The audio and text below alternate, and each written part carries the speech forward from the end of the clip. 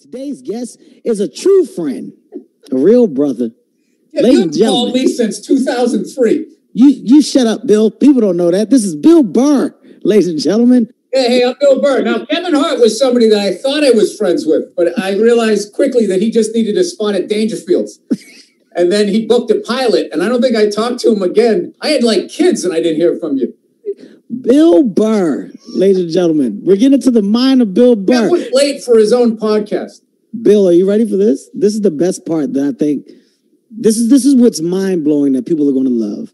Bill Burr. You have your, your your own name on your fucking sweatshirt. Well, outside of that, I mean, When I don't know going to why stop you don't. Kev? We know who you are. Just in case you didn't, Bill, I wore a shirt to remind you. What's the big fucking deal, man? All right, it's just a hoodie with Kevin Hart. I hand out hoodies to homeless people because I care about downtown LA. Go see Jumanji Part 19. the studio system has ruined you. Bill, Bill is not angry. First of all, to our listeners, Bill is not an angry person. Bill is a very happy person. Bill is a married man. He's a father now. Congrats on that, Bill. By I the way, got two kids. I had another one. I was going to call you, but I knew you wouldn't return the call. no, I don't think my last movie did well enough to have you send over your little heart of the city fruit basket, you piece of shit. what are you shit. talking about? I would have sent you a bottle of heart wine from the vineyard. What are you talking about, man? I told you it would have got there. Bill, I love that you tell? have a vineyard. Can we tell the people, Did your Bill, little ass get out I- there and stomp on the grapes? Yeah, I do. So fuck off. I do. Uh, Bill and I did a pilot, ladies and gentlemen. We did a pilot for Comedy Central. It was called Heart of the Shitty, and it wasn't picked up. yeah, this is yes. Let me clear this up. This is before I got big. This is before I got big. Bill and I did a show. It was, you were like, it was right before, no, you were already starting to blow up. And I remember there, there was a moment where we were actually going to tour together. We were going to Yeah. do black and white tour because I was almost ready to go to theaters. You just started going to theaters. And then a week later, you went to arenas.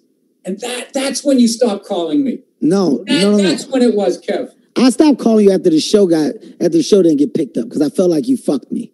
I said that. I said Bill you Burr? You weren't going me. up to the clubs until four in the morning and then showing up thinking you're going to Eddie Murphy your way through it and start improvising. You took that whole thing down with you. I'm still bitter about it. Bill, I would love if we could get our hands. opportunity to get screwed over by Viacom. Do you think I'm willing to bet you, Bill, I can probably get my hands on that pilot? I'm willing to bet you I can, man. I would love to get my hands on that fucking pilot just for you and I. Because we can't show it. We can't do shit How with much it. fun was it? I'm fucking around, but Bruce McCulloch, you and me, dude, that was so much goddamn fun. I will I will say this, man. Bill Burr, for those who do not know it, uh lately, as of late, I mean, Bill, you you're just you're popping up all over the place as far as acting. But the the Staten Island movie, what's the name? With Pete Davidson. What's the title of it, Bill? I don't know. It was called uh, Jumanji Part uh, wasn't called Jumanji. That's my movie. What Oh, the fuck sorry. was it called, man? uh, Get Hard. wasn't that's another no, one of no. my movies, Bill? Wait, I get The it. King I of get it. Staten It's Island? uh, Soul Plane with white Fuck people. off. That's those are my Oh, movies. United Bill. Airlines. God damn it. He said United Airlines. What was it Okay. called, Bill? It's called The King of Staten Island. The King of Staten Island. Judd right? Apatow and Pete Davidson. Judd Apatow, who ruined my friendship with you because you you booked his pilot and I never heard from you again. you left me, Kev. Bill, I'm gonna say in this movie, you did what I knew back then when we did that pilot, man. Bill has always been a fucking you've been a phenomenal comedic actor. And you know they say that we don't have it. They say as comedians, comedians can't we can't make the transition. A lot of comedians fail in making that? that? transition. I mean, Who a lot of people that specifically? Who Don't said it? Donald Trump on me. Don't start telling me that people are saying shit. I Well, they're back. listen what they're doing. I'm telling you what they're saying. Everybody knows it. You know it. I know it. Everybody. Everybody knows. That's my favorite thing. I use that now on my wife. You know it. I know it. Everybody knows. it. Everybody, everybody knows it. What are you saying? People say it. People fucking say it. Everybody, Everybody says says it. You know it. I know it. Everybody says it. They've said the comedians couldn't act for years, but Bill Burr, you cracked the code. You cracked the fucking code, man. And back then when we did that pilot, the reason why I brought up you during the King of Staten Island because you did a fucking phenomenal job in that movie. But back when we did that pilot is when I got to see. I was like, yo, Bill can actually fucking act. Bill's good because I was coming in like you said with the improv, and I'm coming in with all this shit, and not once were you ever flustered. You were never bothered by it. I was annoyed, and I just used that. If that you you were like going out, to, I don't know where the hell you were going out Sky Bar every damn night, dude. That You said one of the funniest things ever to me on that pilot. Is in between takes, you know, before I shaved my head, I was losing it back here, and they'd come in doing all this stuff. You said, you said, Bill looks like a fighter in between rounds. When we were in between takes, everybody coming in. It was out of all the shit people ever talked, I'm not saying it as funny as you said it, but that was one of my favorite things. You know, comedians, we love to get trashed. So that was one of my favorite favorite things anybody ever said to me. I, I- still I- remember that. I can say during that pilot, you and I, we had a fucking amazing time. We had a blast. And the show actually came out good. The show was funny. Of course, things don't work because they just don't work. But the show was fucking funny, man. And it's the last thing that people would Remember what expected to did, see. Though? Which part? What? Because we niced it up. Yeah. What we wanted to do, what was going to happen? You were going to have a drinking problem, and I was going to have something, but we We weren't wanted to it that edgy. pilot. Yes. So we did a nicer version of it. You, me, and Bruce. And I go, okay, man. Right, once we get the audience, then we'll start getting darker. Then we'll go dark. Yeah, we'll give them exactly what they want. For now, yeah, let's give it to them now. There's no way this isn't getting picked up. It has to. What are you talking? You, me, bro. Look at us. We're right on the cusp. We're about to Giving them what they want, and then they tell us to go fuck They ourselves. fucking gave us a big boot. That's what they did. Big boot. Big We got the old industry boot. Bill Burr uh, from Boston, ladies and gentlemen. If you do not know it, uh, Suburbs. What? Safe suburbs of Boston. Not The good for suburbs. the suburbs of Boston. Suburbs. They don't. The They, they don't make movies about where I'm from. Where, where, what part is it exactly, Bill? It's the South Shore, Canton, Massachusetts. I know South Shore. I'm very South familiar. Shore with Music. Circus. I mean, I know what the fuck it is. I've been there. I've been around that part. I didn't hear anybody mention you when I was there either. Well, we'll talk about that offline. Were you Uh, just doing some road work? Were you like jogging down the street with your hands wrapped? While you fucking around, I swear to God, I was. It's when we You know were what was funny about you one time? I remember, you, intelligence. I remember you trying to show me how fast you were boxing. And I'm sitting there going, Kev, I'm a 40 year old white comedian. Like, this is not impressive. You should be able to touch me. This is not. I swear to God, for your listeners, we were in some stupid parking lot, and he's going, "Look, I'm fast," doing all this stuff. I'm just like, "All right, Kev, you're fast. I get it." You almost seem taller when you're doing that, Kev. Wow, that's amazing. Hey, I remember, man. I don't think there's anybody that I can annoy more than Bill Burr. I have, I have probably triggered some of Bill Burr's angriest reactions in the New York oh, City Oh, no, comedy club. No, no. I'm talking about of annoyance. I remember, Bill, you were when we were teasing you one More day. than Patrice? No. no, Patrice, Patrice used to piss you. More than Keith? No. All right, you're right. I was probably in fourth, fifth No. place. No, you were you came in quick. You Patrice in quick. definitely. Patrice used to get you. Patrice used to get you for sure. If Oh, Patrice Pat- got I, you. I never worried about you, but Patrice, if I knew he was going to be there, I would have like five things to say about him. Like I would came in like locked and loaded just to to try and hit him. Until And then I- this and then I, day, then I would, I would be, I'd say all five in the first minute, and then I was fucked. you know what, man? Until this day, I still don't understand how a funeral happened and they turned it into a comedy club. Until this day, Patrice O'Neal, how they turned it Oh, that in. funeral was great. That was one I of the mean, best shows I've ever been to. I've never I've never seen anything like that in my life. You know, for our listeners, You Patrice bugged me at the funeral. You bugged me. I did. Because you Actually did. showed up, you were wearing like a pair of Jordan ones. You looked like you were going to do a spot at Caroline's. I'm like, and that's what I said. I go, Kev, this is a funeral, man. You're dressed like you're going to go do a spot at Stand Up New York. And you, this is what you said. You go, no, Bill, I'm dressed like the comic who made it. Said that at a funeral. I was like, I know this guy's an asshole. I didn't know he's that much of an asshole. You almost had me saying, well, I played Carnegie Hall one time. I almost said that at a funeral for my friend. That's how much of an asshole you are. What the fuck? We went to Patrice O'Neal's funeral. Ladies and gentlemen, I mean, we had so many comedians. First of all, Patrice was one of the most loved guys, I mean, on the scene. All Like, right, he- let's not throw too much. He was also one of the most hated too. yes, but he was a comics comic. He was a comics comic. The comics loved him. If you were funny, you loved him. Yes, if you weren't funny, you hated him because he let you know that you you stood no chance in this business. He Oh, if you you, weren't funny, you stopped working the village because that's where he was. You stayed uptown. you didn't want any problems with that because he was the No. guy to go, ugh, this guy, ugh, ugh, God, who let, ugh. I remember Eddie If one time said, dude, he goes, some nights I'll walk into the cellar and he'll yell across the room, hey, Eddie. And he goes, and I think, oh, he saw me. Dude, Dudes like that used to come into the upstairs at the olive tree and they used to try to pick the first open seat to just, you know, slink in and stay away from him. The only other person that I think holds a candle to Patrice's level of of of evil within within like that that angry tone is Nick Nick DiPaolo. Nick DiPaolo Yeah, is great. Nick is a whole other level. Nick is I'll Nick tell you, is on great. stage, uh, Corey Holcomb. Corey Holcomb is fucking. You know, Amazing. Dude, the shit that guy can say. Corey Holcomb has made me grab how- my chest. Huh? He's made me grab my chest. Like you know when you're uncomfortable, you just grab your chest when somebody says something because you don't know how like how to take it. Corey has made me touch my chest. Like oh god, oh Oh, that's he just sits there laughing. It's like, dude, this thing is literally, you have this audience on a thread right now, and that's going to snap and they're going to rush the stage. And that's where he starts. that's what that's what he loves. That's yeah, what he loves. he's uh, uh, amazing. There's a, and you talk about a guy who doesn't get enough credit. That's Corey. oh Corey- my God. Oh, I He's think, been, he's been a beast for 20 years. But you know what though? I don't want to say that he doesn't get credit because Corey's done well in his career. I You think. don't want to uh, say that because I said it. Go ahead, Kev. Trash me. I get it. It's your podcast. I mean, listen. I mean, I just think that he's done. He's done fucking well. Corey's been a headliner. Okay, maybe more white people should know who he is. There, There was that okay? All right. Okay. I understand that, that? part. There you go. You That makes like more baby sense. LeBron. What is your problem? Hmm? And I don't like that you're fucking. Where are you? What is this setup behind you? What fucking spiritual setting are you in right now? Yeah, is? I, you know, I have a house and I have children and I'm a father.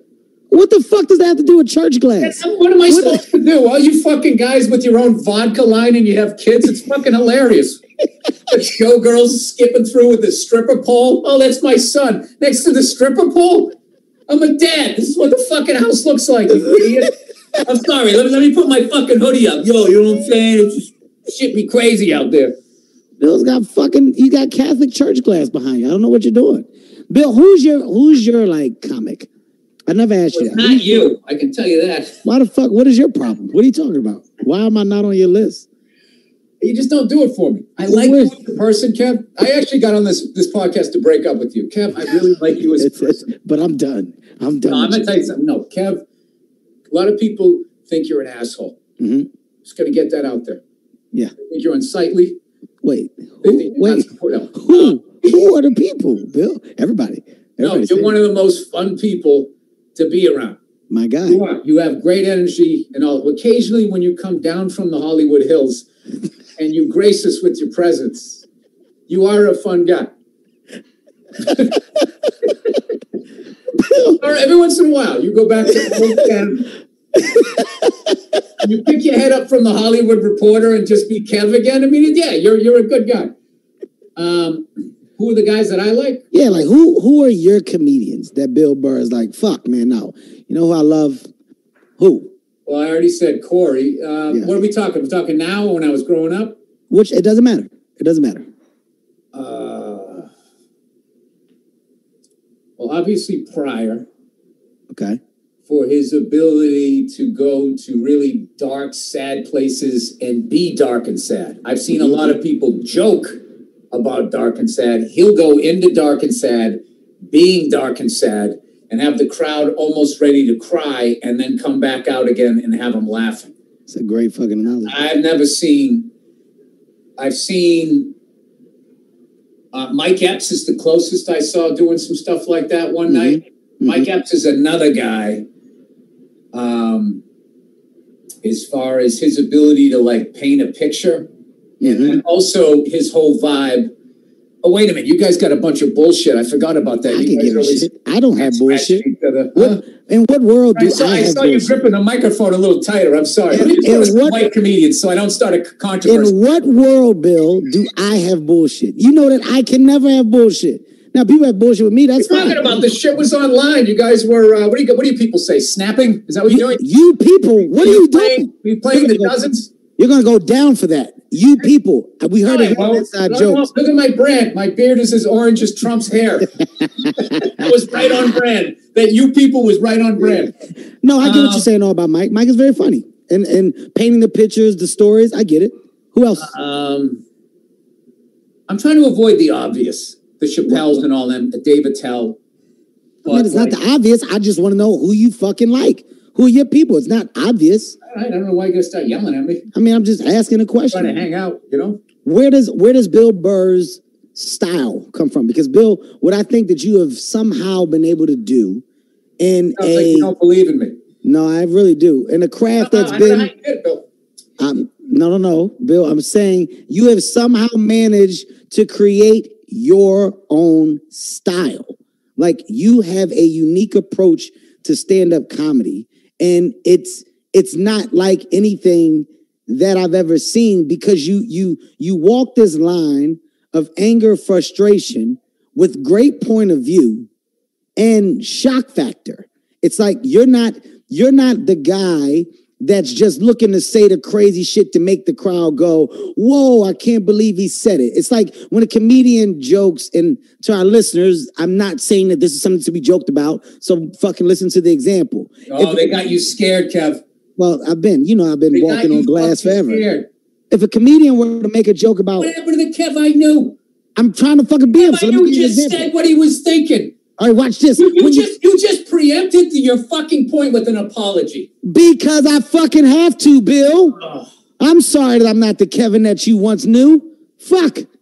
Get off of my back, you you goddamn I'm sorry. you, you fucking You're right. you I'm got- sorry. I, I, forgot you became box office boy. Jesus. I'm saying You get for creating a brand, you asshole. Now they got right. I'm, something I'm they being punished for it. at. I'm being punished for it. Yeah, you got to be rogue. I'm talking about you. like me. if if a comedian were to make a joke about rape, right? Nine times out of ten, most of those comedians are doing it just to get a whoa from the crowd. I'm saying you don't do that.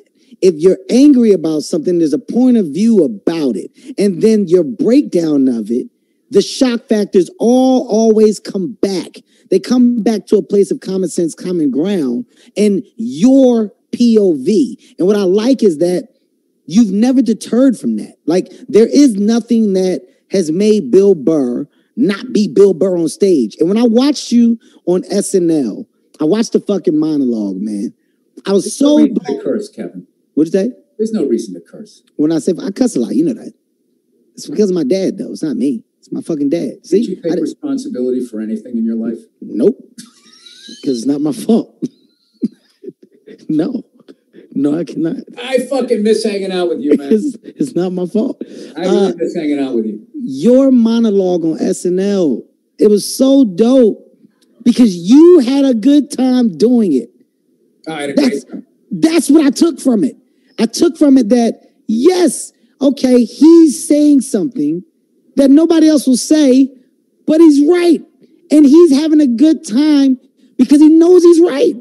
I'm not saying this for a shock factor, guys. This is why I love my job because You I get to say what I about want. that shit though, as I never, I never look at the fucking comments, right? But about Okay. a month out, I was like, all right, I think I got away with it. let, let me take a look.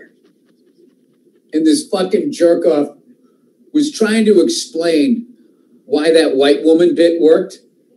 First of all, I thought I was going to get in trouble for saying I was happy Rick Moranis got sucker punched on the Upper West Side. Like I thought, who doesn't love that guy? So good. It was so good. Um, I knew that one was during rehearsals when the band died laughing. When the So band's good. laughing, it's like, all right, they might not laugh here, but at home they're laughing. So this guy tried to say the reason why that white woman bit worked is because he called himself out as a toxic white male. It's like that's not why it worked. It's not that's It not worked because it's true. See, they don't have the advantage of me standing there seeing people, black people, Puerto Ricans, laughing before I get to me even saying that I'm a toxic. The, the part where I say I'm a toxic white male is to get white people like the dude who wrote that to come Uh. along for the ride. uh, And they can feel, you know, okay. Because you know what white people do, you know. You see, they go after dead white people so they can be, they can act. the safest thing you can do as a white person. I am outraged by that white person who is no longer alive. That can say anything about what I'm saying. Yes, Uh, you yes. Can, who can no longer hurt my career, Kevin. Please, Black Lives Matter. Yes, I get it. I am upset with uh, the vice president from 1750. Yeah, that's it. It's it's the safe route.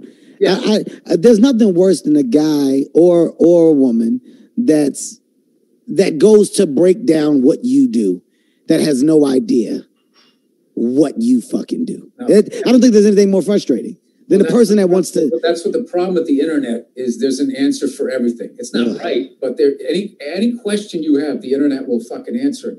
But there's no qualifications for putting information on the internet. You can. There's no libel.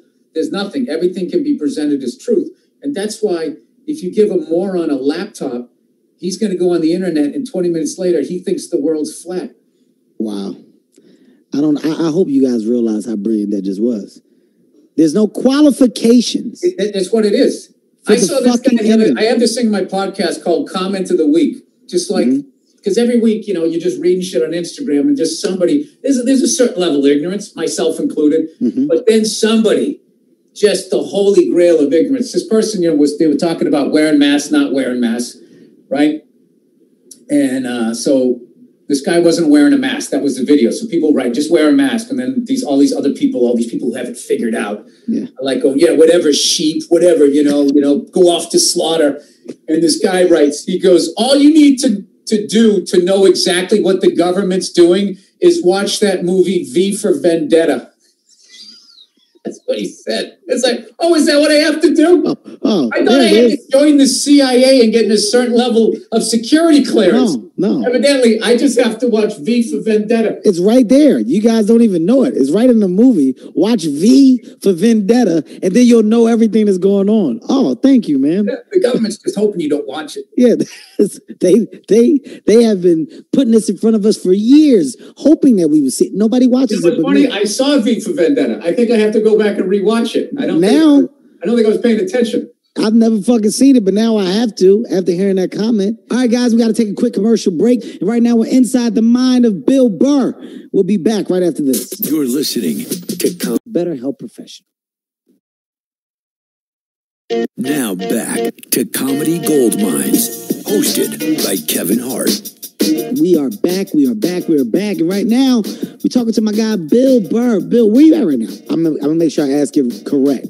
Where is Bill Burr at now?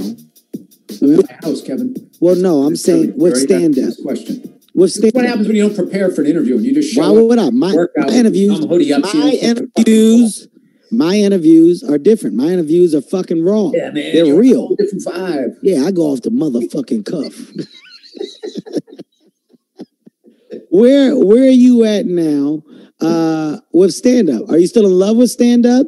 Are you as happy as you were uh in the beginning stages of it? Are you Hey, you remember that time Kevin Patrice told Kevin Brennan to shut his face? shut your face? he told him to shut his face.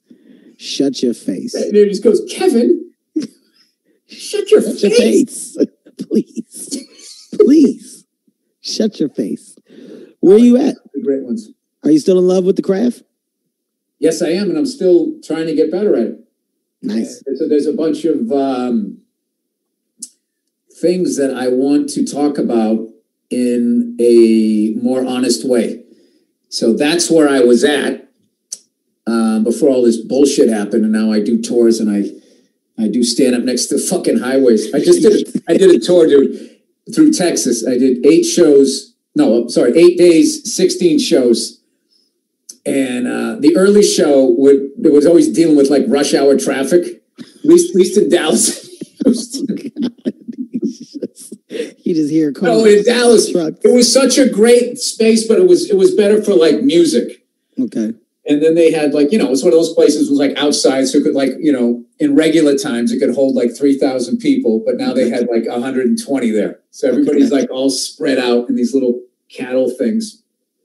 And we were also on final approach to Love Field. So, oh like, God, yeah, you got with, like, planes coming down too? Yeah, but there weren't as many because not as many people were flying. So, Okay. Um, but I was psyched that I was at least psyched that I finally got to land at that airport. You know, I kind of like aviation a little bit, and that's where JFK landed. uh, before they whacked. How many shows? You did 16, 16 shows? in, in How, how long uh, ago? in uh in eight days. So I did I did like let's see, one, two, three, four, five, six, seven, eight. Okay, so I did four in Austin, four in Houston, and I did eight in Dallas. Insane. Oh yeah, dude. Yeah. But but it felt. I'm willing to bet it felt fucking amazing. No, it didn't. Really? Because I was outside and it was cold out. And I literally halfway through the tour, I was joking with uh, Club Soda Kenny. I was going, dude, I swear to God, if my whole career was outside, I would have been retired by now. I just I felt like I was tailgating like eight days in a row, just standing out there. And you, and you know, you're at a tailgate, you can throw a joke in and then have a burger, but like I had to be the life of the party for like Oh, I can't. I don't want to see Burr pale. He's already. You're already the whitest white guy I know. I don't want to see. for me, Kev. You can't believe the fucking doors that open for me. That's it. doors that people of color don't even understand. That's it. You get them. You get them. They fucking open for Burr. This is a fucking door. It looks like it's going to They heaven. Feel the heat of my white hand. I swear to God, it looks like it looks like there's something amazing behind that door. It really does. There's nothing. I'm- it's just a white wall, Kev. Whiter than my fucking pasty face. With uh, you you released a, a special, an amazing special. What's the what's the goal for the next one? Like, is there with I where we work. are? My, I want to work the word heart into my special and spell it H A R T so you can sue me. I will fucking sue the shit out of you. I know you will. I'll sue the shit out of you for fucking.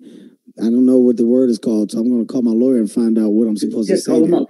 Yeah, I will fucking call him up, and I bet he tells me I'm gonna text it to you and let you know why he'll be sued. Well, you're so huge at this point, Kev. To be sued by you would actually help my career. Man, I get sued. Just to have my name in the same sentence. Do you know how much I get sued, Bill? Well, you're an You asshole, so you probably deserve it. I don't fucking come at me. I don't even know half the lawsuits. I don't even know what they are. They just come. I get sued so fucking much. I, I get sued You get so sued much. by the white people in your neighborhood because your Lamborghini's too loud when you come down the street. First of all, I don't I don't know if there's Look white people in my neighborhood because I don't talk to Look my neighbors. his fancy cars, thinking he's somebody in our neighborhood. Yeah. I don't talk to none of them. I've never talked to a neighbor.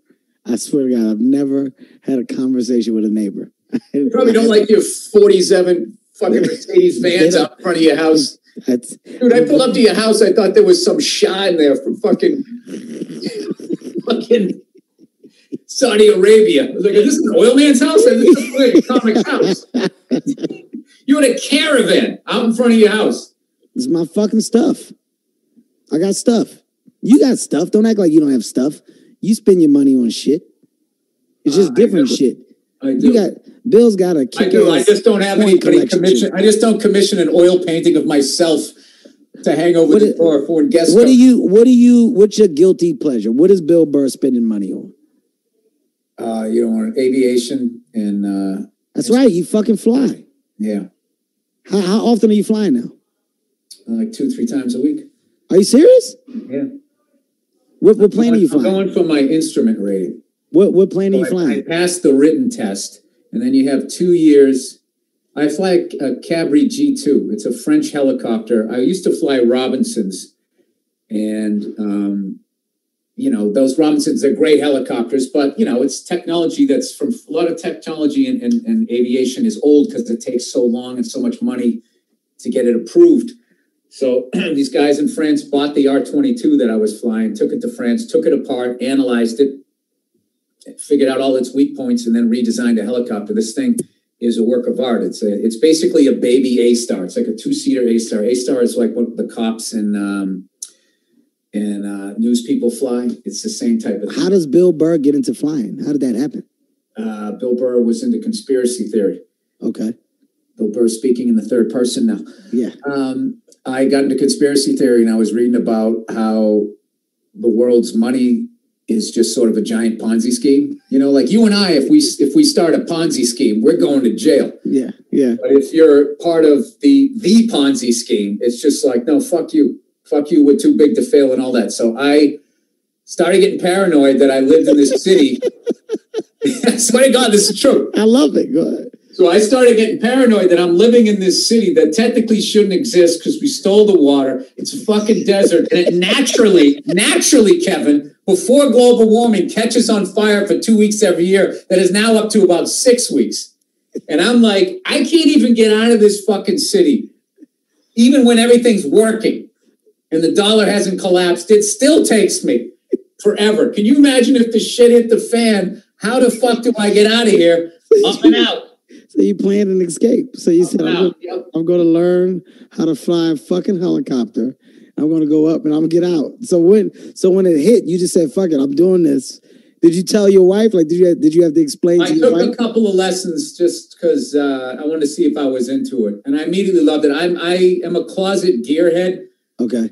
I don't, you know, I'm not good at fixing shit, but I will watch anything on the internet, somebody fixing something from a vacuum cleaner to one of my favorite cars to somebody doing a rebuild on a helicopter. I think what those people do is amazing, Fascinating. fascinating. And Yeah. also, especially like in aviation cars and all that stuff, you got people's lives in your lives in your hands. So um, I got into that shit. So um, Have you bought have you bought one or or attempted to buy one? Do you have any like planes or helicopters that you own? uh, yeah, I, I own one. Good shit, Bill. Good for you, man. Well, because I wanted to have a say, and it cost a fortune to rent them. It's actually cheaper in the long run to own one. So I recently bought one, and uh, what I absolutely love about it is, um, you know, if you have an engine failure, you you do what's called an auto rotation, Mhm. which is now rather than the main rotor drawing the air into the disc, it's now the, the helicopter falling it's the air rushing up underneath is what keeps it turning. So you have to fall at a certain speed to keep it turning because if you're going too slow and your RPMs drop, then you're going to die. So on the R22 that I flew, I felt like the window was like this. This is the low RPM horn. Okay. This is over speeding it, which you wouldn't give a shit if you did that in a real situation. I mean, it cost you some money, but like, but it was just, it was just, you really had to get precise. So I got those down, and now with this one that I have, it, the, the- it's like this, and I, I Wow. feel like So it's a big difference. coming down on a cloud. And people don't understand, like if if you if you stay up on them, how safe they are, dude. You can literally be flying this way, see your spot, stop in the air, turn around, nose it over, get your speed back, come down, hit your flare, and then level out. And what I like is you can bleed off all your forward airspeed, which is huge to me because I feel like because this is what people don't understand. Is, is planes and helicopters, this is going to sound obvious, but you don't really think about it. They're not designed to hit anything. So Helicopters. Helicopters. Right, or planes, yeah. It's, Yeah. There's no crumple zones or airbags. Like it's, Yeah. it's all about weight and balance. They, it's designed to get up and fly. Yeah. So that's why you'll see these guys will get it on the ground, and then you know they get hurt really bad. It's like uh, back in the day, like cars in like the 1950s and shit. There was no crumple zones, and you'd hit something, and the steering wheel, everything came. It It just came inside. Yeah. Yeah, you squirted it out the side like toothpaste. So now they got it worked out. The engine drops down. They somehow with the physics it goes around you. Like the level of shit that you can hit in a car and still be pretty okay is incredible compared to uh, back in the day. But aviation is still like that. You, you never forget that. So it's it's it's all about you know like bleeding, getting getting that forward airspeed to just. I I just love the fact that Bill Burr is in aviation. I love the fact that your hobby is flying. And here's here's the the thing, Bill. The whole point behind this fucking podcast. I was having a conversation with some friends, and I said, "You'll never meet people more interesting than comedians." I said, "We're the most complex individuals alive." I'm serious. I've never had you really think that? I don't know. Fuck yeah! Look at the look at the difference in the individuals that we know. We can call them crazy. We can call them smart. We can call them uh, people who have conspiracy theories. We can have strong political figures in comedy that are that are so adamant about one thing and not another. We have such a different level of personnel in our business, and people only look at the personnel as if they're just funny but they're the most complex people walking the face of this earth. Some of Well, them are I dark, think, I think two things. happy. Well, two things that make, I think, people in show business fun to talk to is the level of travel you do. And you can travel and be closed-minded and, and be boring as shit to talk to. But if you have your, you know, your eyes open and you meet all these different people, there's a combination of that and the fact that if you came out of prison, okay, There's like there's like two or three jobs that you can just go out and do, and they don't even ask what if you did anything. You could kill five people somehow in a technicality after 12 years in jail, get out of jail, go down to an open mic, and get on stage. And be like, ah, man, do five minutes. Yeah. And then you just up there. and then when people found out you killed five people, nine out of 10 comics would be like, yo, dude, you should talk about that Yeah, on stage, you, should- man. That, you got to do a bit about it. that'd be some Pryor shit. Yeah. You got to you got to discuss it. You can do that. I think you also could get into sales.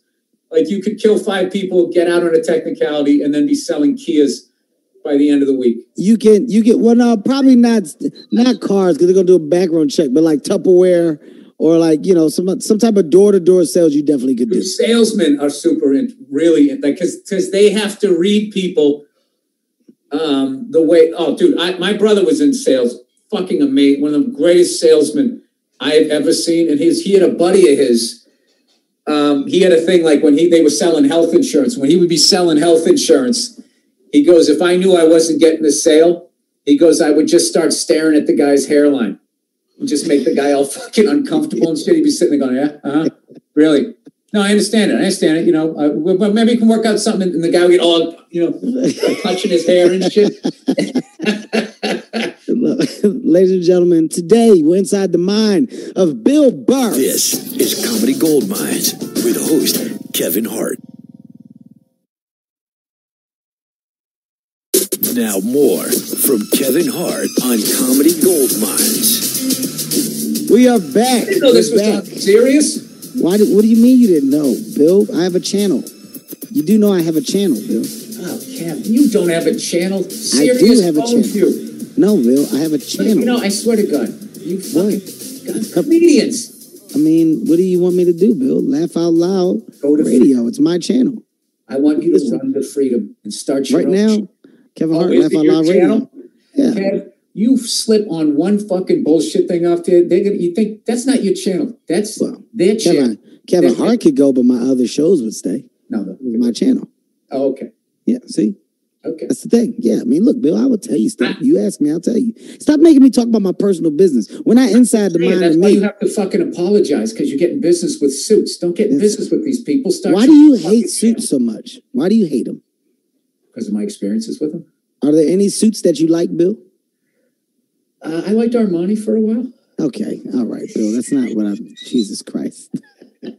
What's your relation? I don't know. I, I have empathy for him. I actually have empathy for him dealing with us crazy people. But you know, I mean, having to audit people, and then also while still being friendly and creating shit with them at the same time is, is sort of a weird dynamic. As a comic, where you just your whole thing is to be like, "That's bullshit." I'm saying that's bullshit. And then when you get into that thing, you have to be like, and they're like, "Oh, that's the other side of the building. That's those kooks down in accounting. you and I, we're we're bros." Gotta deal with that shit and be like, What's your relationship with your agents like? "It's wow. better." It's better. Oh Jesus, what what just happened? Where did you just go? You just went to a dark place. No, because I was thinking, should I tell this funny story? I'm gonna tell. No, I love my agent, but I will. I'll be. I'm not gonna lie to you. I was at a premiere one time, and he came up to me. He said, "Hey, man, you killed it. Great job." And I was like, "Yeah, dude, you were great too." I just because it was. I thought he was in the movie. And then that's when we were just like, well, maybe we should. I only talked to him on the phone, so Oh I, I forgot what he looked like. Oh God, he thought he was an actor. He thought his agent was an actor. He's a good-looking guy. What can I tell you? Great head of hair. Oh my God. Yeah, Bill, man, you really crushed it, man. Good for you. You too, man. Wait, what? Bill, wait. You're kidding, right? Like, no, Bill, I'm your agent. I'm like, oh shit, I'm sorry. He didn't give a shit. We we that's like our running joke now. Oh. Uh, how long have you been with him? Um, whenever uh, my booking agent went over to that agency is how long. I Okay, got you. Got you. We share a lot of Bill, you know, we share a lot of the same representation. We have for quite some time. You do know that, don't you? Uh, well, Kemp, if you called me a little more often and shared some of your life with me, I guess. I guess I'm I gonna have to call you. You should know that. You should know. I mean, it's I don't understand how you wouldn't know. I know, I know because I ask. And I was like, oh, that's dope. Bill's got a fucking great team. Everybody knows it, Bill. Yeah, what are you talking about? Everybody knows it. You got a fucking great team of people around you. I know that because they're my team. Who do you like playoffs? Uh, this year, You know what? I am. Uh, I'm a little, little definitely. Dis- I'm heavily disappointed in the uh, NFC and just what we represent for football right now. It's kind of disgusting. Oh, the East. That, that that was just one of the rare times where all five teams were either rebuilding or had a horrific inter- I mean, it, it was disgusting this year. It, it really got to the point where it frustrated me. So this Well, year, six and ten almost won that division. it it it really it really bothers me. But I think it's going to be hard. It's going to be hard to beat the Chiefs, man. I, I think the Chiefs are going to fuck around and come out of it again. Uh, you know, I think with Pat, Patrick uh, Mahomes is he has that. That he not only does he have like all the talent and the gifts and all of that, but he also has that charmed life thing. yeah, You know, when I used to watch Derek Jeter, I was like, this guy is like, he's unbelievable. He's he's like, he's everything you'd want in a player. And then he also just had like that magic thing. Like, remember, Like I don't know, you watch like baseball when that guy overthrew the cutoff man, and he ran and he ran, he was like over by like the the uh, the uh, on deck circle on the other side on the first base side. He plays short and he just grabbed the ball and went like that. And, and the dude on the A's didn't slide and he got the out. And it's just like, I can't say that because that was just like a heads up play, but he just has that. he's got that I, I just see Patrick Mahomes so many games he should lose He and they doesn't. still win because like he just has, it's beyond being good. Well, I'm gonna tell you, Beyond being good. He's, he's, that guy is blessed. Russell Wilson has it too. I love Russell. Russell Wilson's my favorite. Russell Wilson has it too. What's but you're a baseball guy though, right? You're not a football guy first. You're a baseball guy. I'm a hockey guy. And You're a hockey guy first. Boston. Yeah, That's right. they Boston. They can, no, it's Boston. You said it right. Boston. No, no, that's wrong. It's Boston. It's B A W. If you want to say it right, you don't have to. Uh, Boston. but they kind of ruined the sport. They kind of they they got too much of the fighting out of it and shit. They just I wish they just had accepted the fact that they were a rogue sport and that you know the owners were just going to be multimillionaires. But for some reason, people always want more, so they're trying to make as much money as the NFL guys and hold people hostage for stadiums and all that bullshit that the fucking NFL does. Are you are were you ever uh did you ever play? Hockey? Yeah. No, it's too expensive. Did you ever play any sports?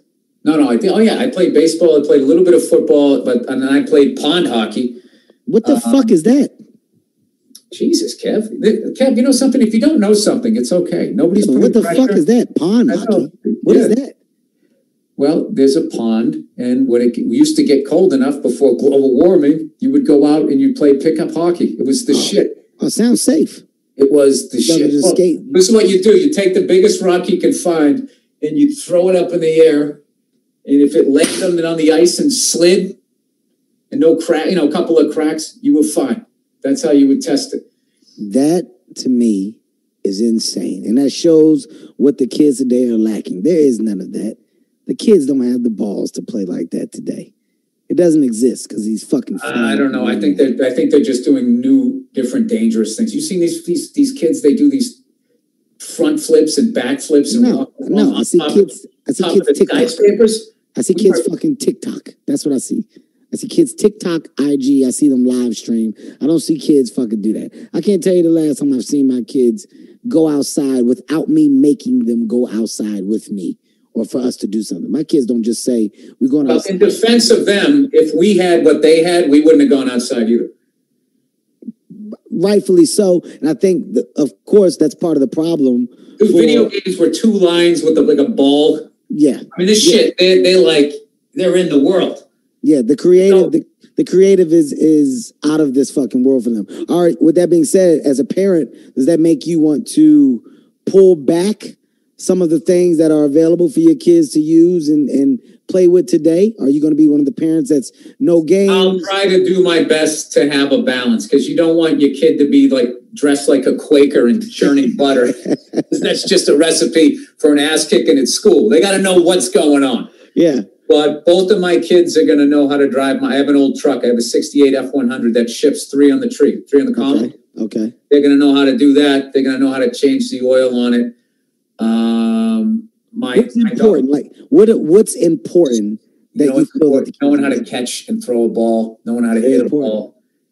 You know, uh, True story. You ready for this, Bill? True story. How to ri- learn how to ride a dirt bike, like knowing how to ride a motorcycle and shit. I like that Rambo stuff.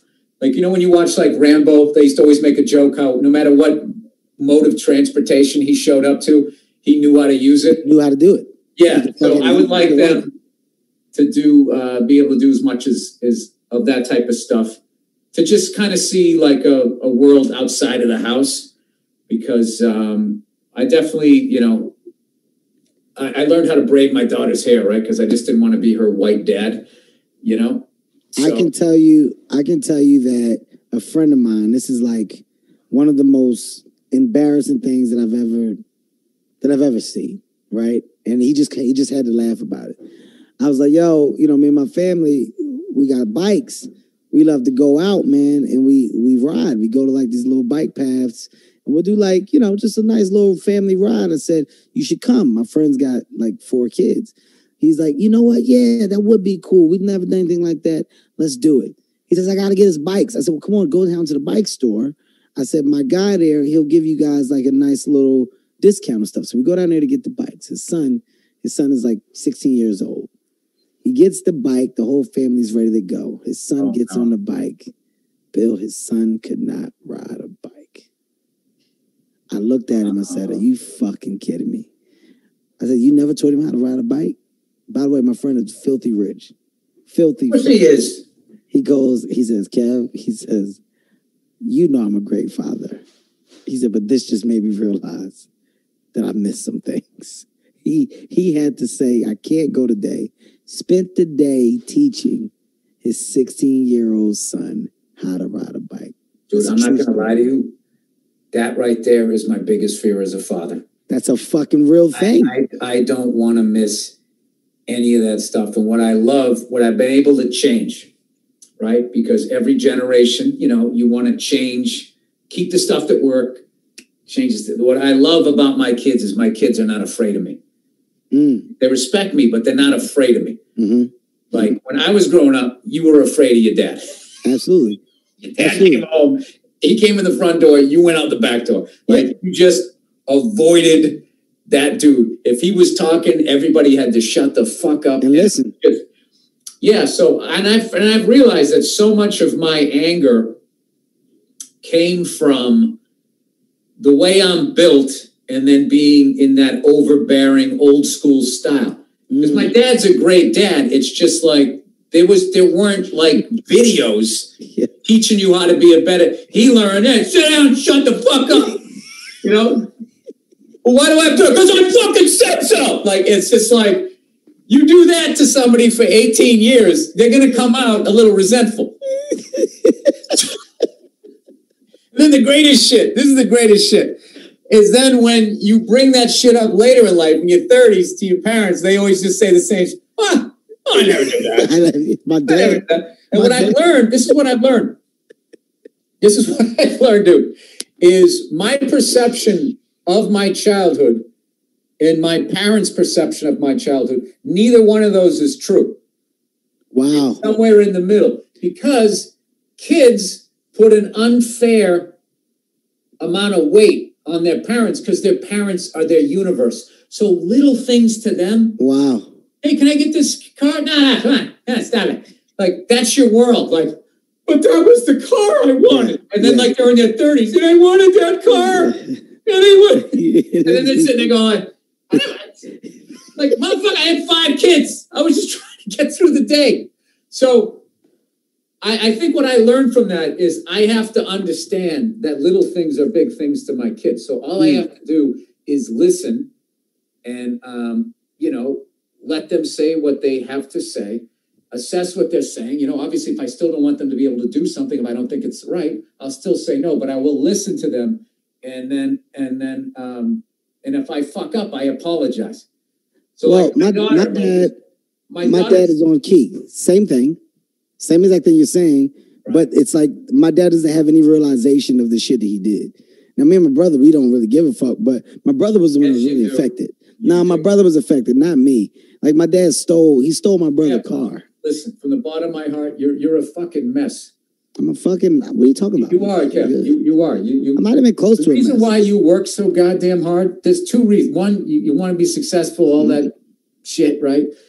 But you also, when you're fucking occupied, you, the smoke can't catch up with you. That's what I found in this pandemic. all my shit can't catch up to It me. can't catch up with you because you're doing the next thing and you, you keep it. It's just behind you. And all it takes is a fucking pandemic. to sit Yeah, me down. no more stand up gigs. And you fucking clean the house and you threw out all your old shit. And then you're just sitting there. And then this melancholy, like from the first time in, in like maybe like a decade and a half, I felt depression. Really? To come up on. Yeah, I was just like, what the fuck is this? I thought I was past all of this. And I, and I wasn't. Like I built this great life, but I Mhm. didn't deal with this you- other shit. when you sat down, you felt like all of that shit came or or was able to catch up. Everybody was quarantined. The phone stopped ringing. There was no more emails. I mean, there was occasional bullshit or whatever, but it was just like I had nothing to do.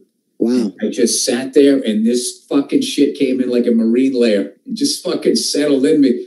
And my wife was, over. she was, what's going on with you? I was like, I got, I got, I don't know, man. Like I got the fucking, the blues or something. I don't know I got, what. the, I- I got the DPs. I got I the got the Yeah. I got the pressures, honey. Uh, yeah, so I, I I played drums too, which is great to uh, I Let guess off some avoid- steam. and also sort of avoid what you're feeling. Okay.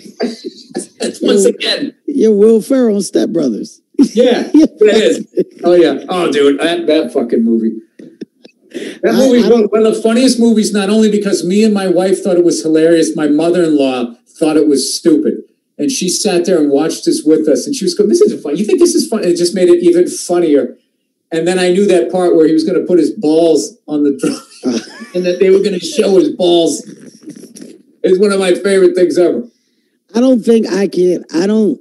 I don't think that I. Well, I definitely know that I'm not uh, a depressed individual. But what you said makes sense, actually, though, about like moving so fast and shit never having a chance to catch up to you. And if it did have the opportunity, what effect on you would that have? Uh, all the shit that acts. Now, how much quiet time do you have over the course of a week? Like when you ride in your car, can you sit in your car and ride in it, not be on the phone, and not have the radio on? I already know the answer to this shit. I used to tease about you on the No, phone when we were doing the pilot. I got if it's not the the radio or the no, I'm not even gonna. I'm not even gonna lie. No. Yeah, because the demons. That's then the demons all of a sudden, like what made you become a comic, starts coming up. Now I'm I'm kind of at this crossroads where I I'm sitting there. Do you live with your demons? Mm. Uh, is there a way to face them and, and they do go away? Because that just sounds like some Dr. Phil shit. Yeah, but go away- show One of the funniest inadvertent comedies I've ever seen in my. I love the Dr. Phil show. But the fine go away. to stop doing heroin. And they're like, okay, thanks, Philip. Fixed. But what do you mean when you say demons go away? Like, do you really believe that they go away, or do you No. just put them to rest? You can put it to rest, but if you want to wake it up, you can wake it the fuck up. There is no go away. I like how you just said that. That just got me amped up.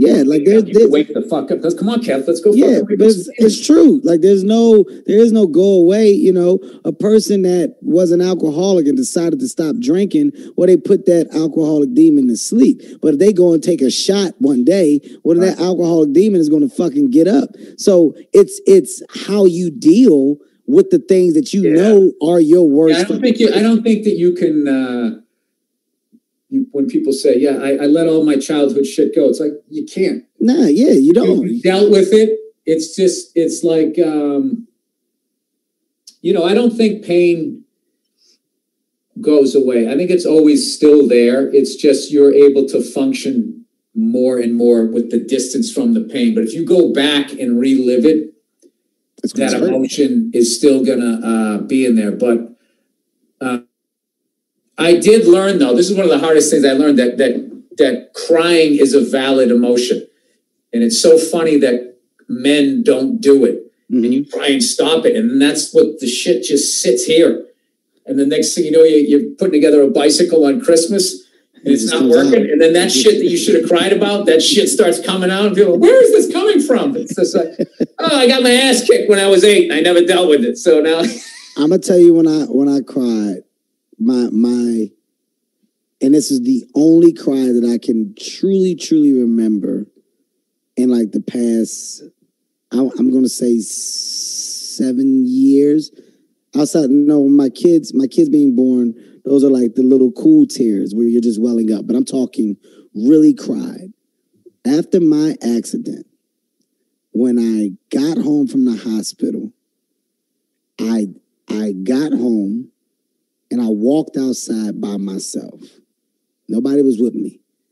That's the that's the only time. Listen, that, nobody was with me. I broke the fuck down so bad because when I walked outside by myself, it was the first like real steps that I've taken without people being around me and are you okay? You need anything? What can we do? How's that feel? Like no questions. I did it by myself, but it's the first time that I realized I was like, oh fuck. It was really almost over. You, you know what the cruelest thing about life is? Wouldn't you love to be able to stay in that mind space, that head space, and just really appreciate just being able to walk outside? Yes. Absolutely. and could- that you, you were so happy that you could just do that, and you had this house, beautiful wife, beautiful kids, and it, and it could bring you to tears rather than getting comfortable And getting you used get to it comfortable, and you get, constantly needing new stimulation. Well, That's the fucking last right, time, man. last time I I had to let it go was um, a uh, one of my great friends died back in Uh-huh. August.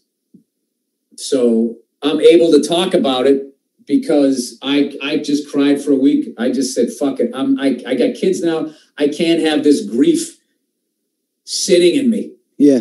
And it was just like and i really learned and i actually think that that's one of the reasons why women outlive men is because they it's socially accept they can break down in a fucking fuddruckers packed applebee's It's, it's, okay. nobody's gonna judge them No, people come they're okay. gonna come over and comfort you it's okay. if you break down in an applebee's as a man Yeah, what the fuck is his problem? Jesus yeah Christ. uncomfortable oh jesus Jesus Whoa. Christ. Yeah. Hey, so I think that all of that shit and it sits on your chest, and then one day you're walking, you fucking have a heart attack. you just keel over. I love I love your I love just your I love your mind, Bill. And you know, we can fuck around and we talk shit all the time. And I know for a fact that you're a friend. I know for a fact. Kev, I know for a fact after this podcast, I probably won't hear from you for about six years. So And the next time I see you, you'll be like, I love you, Bill. Bill, I, I've always loved you. Yeah, what does that mean? That's how we operate. Doesn't change. How you operate. I've come to accept that with you. You're going to put your hoodie up and you're just going to keep plowing forward. Yeah. You're going to say some really sincere, heartfelt shit to me, Yeah. and then I'm not going to see you for about 18 months. Nah, we'll see each other. I'll bump into you something. What are you talking about? You know where you know what the truth was in what you just said? What? That pause right before you started talking. That's that's the only truth in what I That, just that was the truth of what you just said. it's not true, Bill. I fucking love you, Now man. you're not even looking at me. You just broke Yep. eye contact. You, Bill. All over you right now, Kev. Full court defense. Yeah, no, that's three not- second violation. Bill, Stop. What do you stop using these references? Ladies and gentlemen. I figure I talk about basketball. ladies and gentlemen, you guys just had the goddamn privilege and pleasure of getting into the mind of one of the fucking best to do it, man. I'm talking about Bill Burr. Bill, before we fucking say goodbye, I mean what I say, dude. You're you're truly one of the fucking good guys. Like you're genuine. You're unapologetically you, and you always have been. And I'm always gonna love and appreciate you for that. From a distance, though. Uh, I mean, what, do you, what does that mean? Yeah, I know you're busy. I'm just fucking with you. I miss hanging out with you, dude. I miss the fucking old days when we were all fucking broke. just just literally just just at a other shit. table at a table with a sandwich and just talking shit. What, eat, like- you guys criticized the way I ate. I had to eat before I came to the cellar after a while. Oh my God. Ladies and gentlemen, you want to see something that just looks like it's inappropriate. Bill Burr eating a buffalo wing is something that will It's not inappropriate. I was going on. This is how bad the cellar was. I was gonna go on stage. I had my beard was fuller. I didn't want sauce in my face, so I was sitting there. I was oh. trying to eat the wing. I was going like, eating Oh, like that, and then this asshole saw it. Bill looks The sick. started. I said, Bill's dying. Then I went down. Then I came back up, and it continued. And then for the, for the rest of my time there, every time I would have mashed potatoes as it was going in my mouth. Everybody's dead. Look at Bill. Oh, Jesus. the way the potatoes are sitting on that spoon. Bill's sick. That's what we said. Bill's sick. He, he's not telling us. Bill's dying. He's dying. You said Bill eats his chicken wings like he's dying. You know when somebody says some shit, you're like, oh, that's not going away. that, that- that wasn't just a quick little jab. That that was an overhand right, and my ears are going to be ringing for the next two weeks as people talk about. Oh, God. All right, ladies and gentlemen, that is it for this episode. Once again, please, please appreciate the mind that you guys just got to get into. I'm talking about.